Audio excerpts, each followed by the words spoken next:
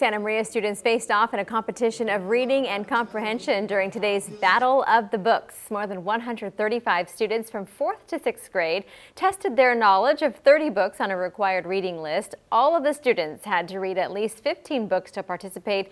They were organized into random teams so they could work with kids from other schools.